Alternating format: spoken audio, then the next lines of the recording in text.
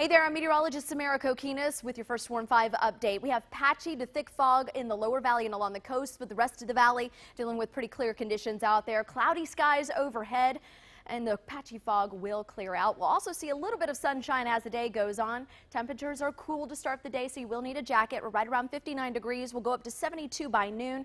77 is your daytime high, so I think jeans and t-shirts are a good call for the rest of the day. We'll be at 74 for your drive time home. Later on tonight, that's when that colder air is going to be on the move through the valley. We'll have cloudy skies, a few showers if possible. We'll go to 54 degrees tonight, and then tomorrow, as that colder air really settles in, it's going to be windy, cloudy and damp with showers around. Temperatures will be falling through the 50s throughout the day. We'll be in the low 50s and upper 40s by the evening, dropping to the upper 30s overnight light